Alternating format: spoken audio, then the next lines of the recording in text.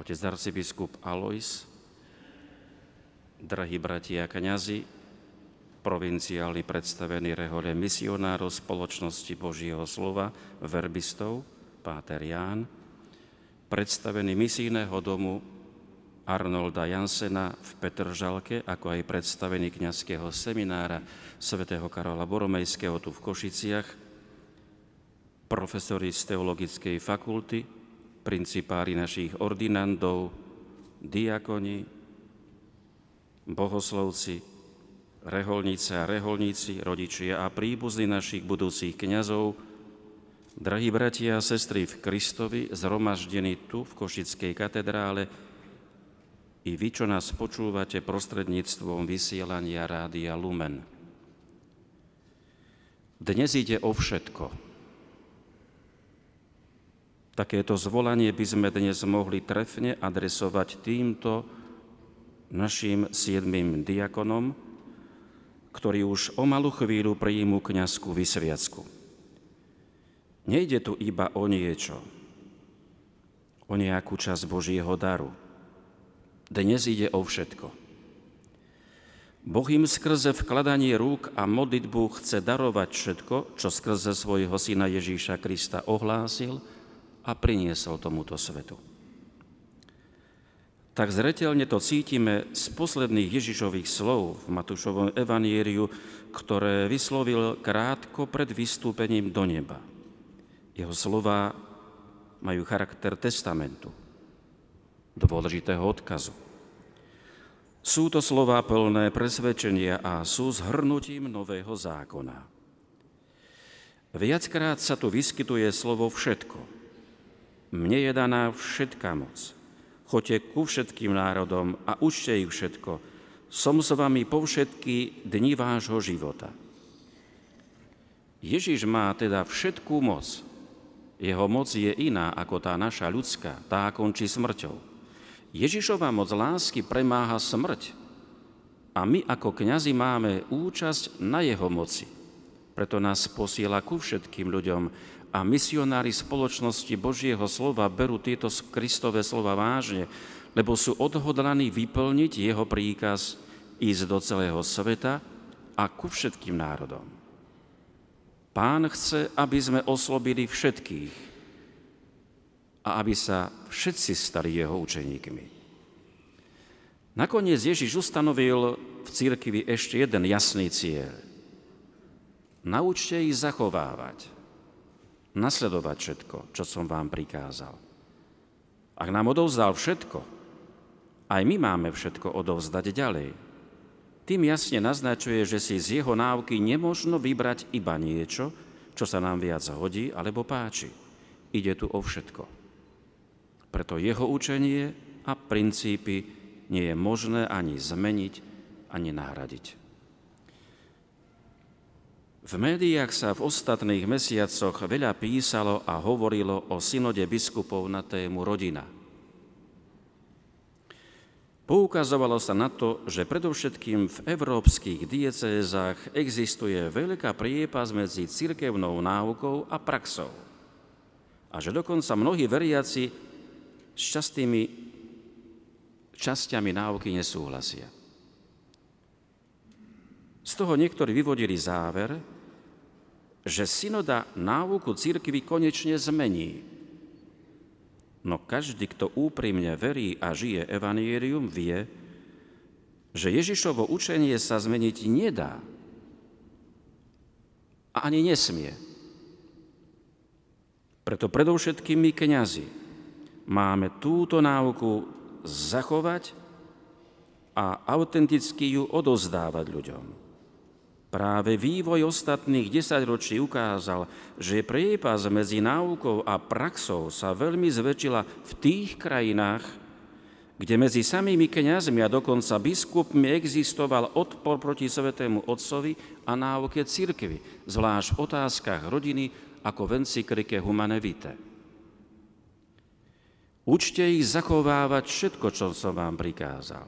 To znamená nepoľavovať a neprispôsobovať sa štýlu doby, v ktorej žijeme. Kristus je predsa s nami po všetky dni a vo všetkom, čo nám zveril. Máme sa nechať viesť duchom svetým a nie duchom sveta. Máme konať v Ježišovom mene a nie na vlastnú pesť. Prezentovať jeho náuku a nie svoje učenie a názory.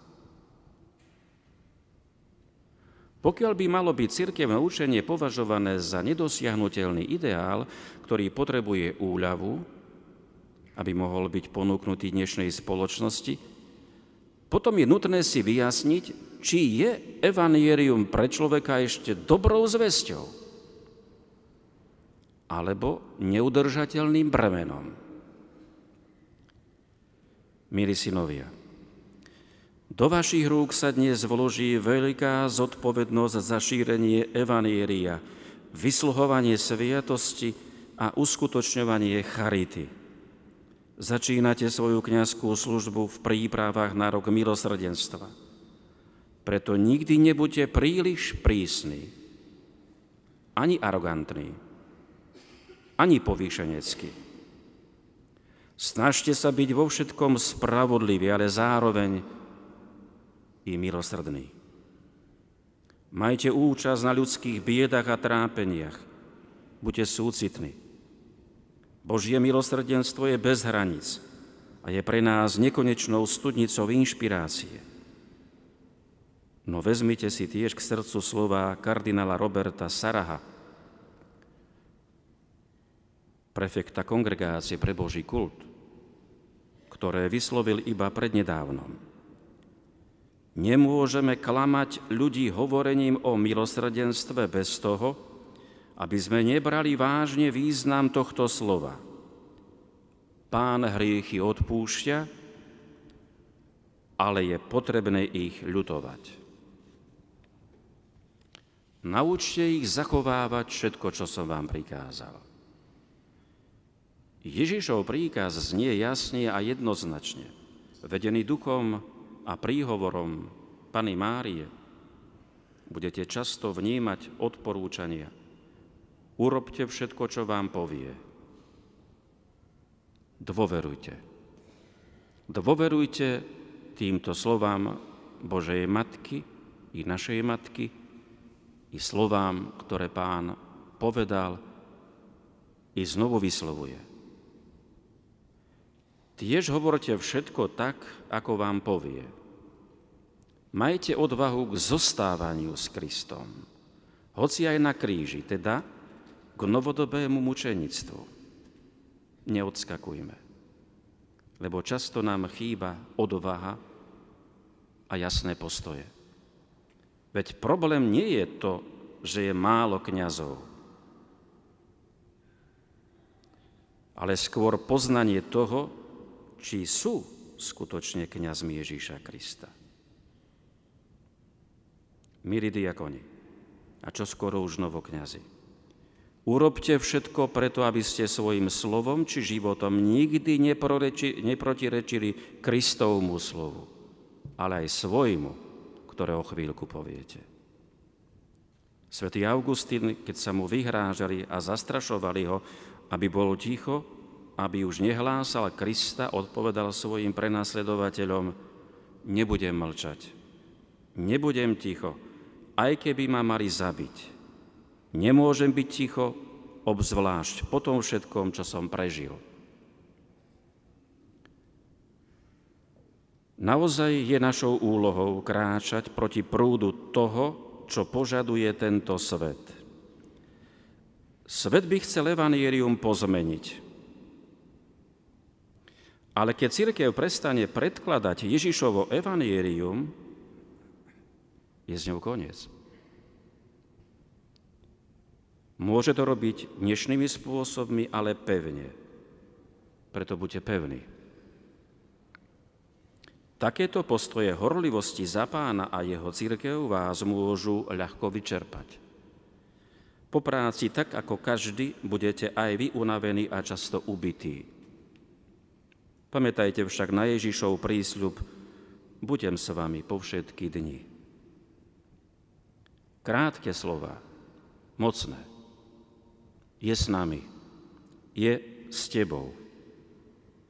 Teda nielen v dňoch záťaže a únavy, ale i v dňoch oddychu a znovu objavovania daru kniazstva a radosti zo služby. Práve predvčerom sa na nás cez apoštolskú nunciatúru obrátila kongregácia pre klérus a s naliehavosťou prosila všetkých biskupov, aby svojim kňazom v niektorý deň blízko slávnosti Najsvetejšieho Ježišovho srdca, ktorá má byť dňom kňazského posvetenia, priblížili myšlienky svätého otca Františka z príhovoru počas Svetej Omše posvetenia olejov 2. apríla tohto roku. Svetý Otec nás v ňom upozorňuje na pokúšenie odpočívať akýmkoľvek spôsobom. Aj odpočinok má byť Božou záležitosťou a pre kniaza zvlášť. Kľúč k našej kniazkej obetavosti sa nachádza v tom, ako odpočívame a ako cítime, že pán zaobchádza s našou únavou. Aké je ťažké naučiť sa odpočívať. Milí naši kandidáti, aj vy pocítite podobnú vyčerpanosť. Veľa povinností si bude vyžadovať vašu neustálu schopnosť súcitu. Toľko emócií, ktoré sa vám dostanú v prvých chvíľach vášho kniazského času, toto všetko spracovať a nedáť sa pomýliť. A toľko emócií, ktoré budete vo farnostiach pri pastorácii zažívať. Toto sú náboje, ktoré treba správne usmerniť. Tieto city budú prirodzene unabovať vaše srdce pastíra – bude to únava zo zástupov ľudí, únava z nikdy nespiaceho pokušiteľa. Ale aj únava zo seba samých, istých druhých. Preto iba ten, kto bude vedieť požiadať o pomoc, pôjde ďalej i dopredu. Každodenná modlíba breviára, posvetného rúženca – meditácia nad Božím, pravidelná spoveď. A nebojte sa pripojiť sebe eucharistický a mariánsky rozmer. A nakoniec nezostávajte v izolácii. Stretávajte sa hlavne so spolubratmi kňazmi. Kňaz kňaza bude skôr chápať a bude vedieť poradiť i pomôcť. Bolo by zle, keby ste počase povedali, nie mám človeka, nie je človeka, ktorý by mi poradil a pomohol. A dajte si poradiť. Nevyčlenujte sa zo stretávania sa s kniazmi zo svojho okolia.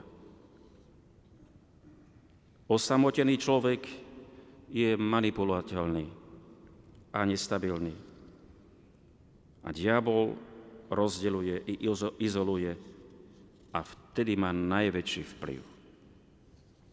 Preto odpočívajte vždy v duchu svetom, v duchu spoločenstva, zdravého priateľstva, dobroprajnosti i zdieľania. Po pastoračnej práci a námahe nehľadajte vždy iné, nové útechy a pohodlnejšie odpočínky, tie, ktoré ponúka konzumná spoločnosť. Pamätajte, že Pán zostáva s nami až do konca a všade, na každom mieste. Pán sa stará, aj keď sme unavení. Odozdajme mu preto našu službu i naše únavy a nechajme, aby v nás opätovne zaznelo Ježišovo pozvanie, ktoré prijíma a dvíha. Poďte ku mne všetci, ktorí ste unavení a preťažení, a ja vás posilním. Milí ordinandi, buďte kňazmi ktorým vždy pôjde o všetko. S radosťou v srdci zachovajte i ohlasujte všetko, čo nám Ježiš daroval a prikázal dávať ďalej. Panna Mária, ktorej nepoškvrnené srdce pozorne vnímalo i uchovávalo všetky Kristové slova a skutky, nech vás ochraňuje a zachová v horlivosti a v službe Bohu i všetkým ľuďom. Amen.